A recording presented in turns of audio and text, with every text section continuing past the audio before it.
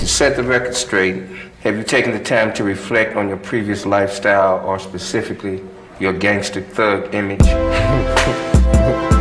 It's not an image, it's just a way of life, it's a mentality. Mentality, God to keep it mentality. I just thought about how it changed, what would I do? How can I make them sorry if they ever did this to me? My daddy told me keep it real. You know what I mean? How can I um, come back like 50 times stronger and better? Hold up, Stronger and better. All I need you to do is vibe with a nigga. And try to catch me if I'm falling. Especially if you're riding with a nigga.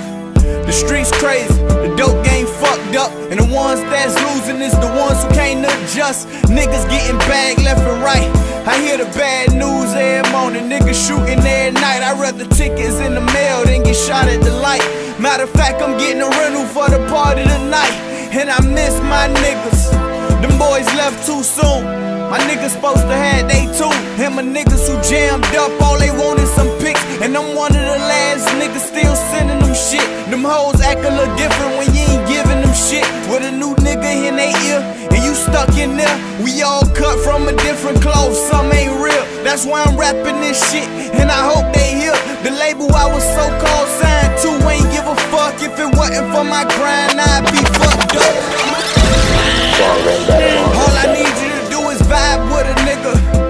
Try to catch me if I'm falling. Especially if you're riding with a nigga. The streets crazy, the dope game fucked up. And the ones that's losing is the ones who can't adjust. Niggas getting bagged left and right. I hear the bad news every morning. Niggas shooting every night. I rather tickets in the mail than get shot at the light. Matter of fact, I'm getting a rental for the party tonight. And I miss my niggas. Them boys left too soon.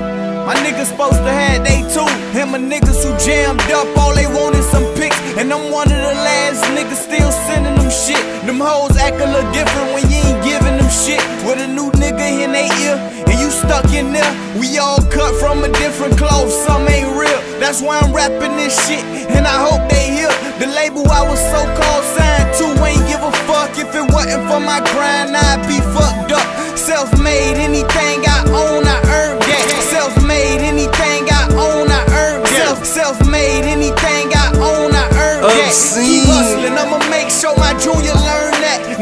Talking, play they self right out of the box.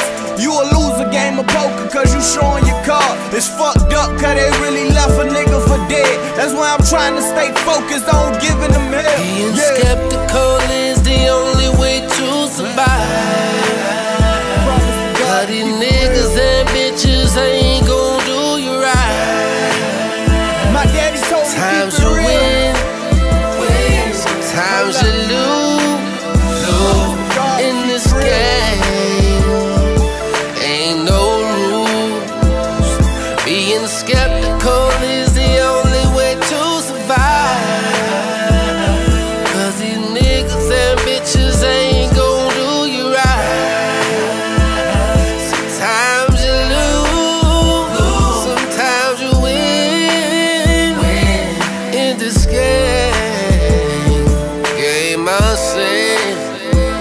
I don't care if don't nobody never support me no more. I'm doing this for self, you know what I mean?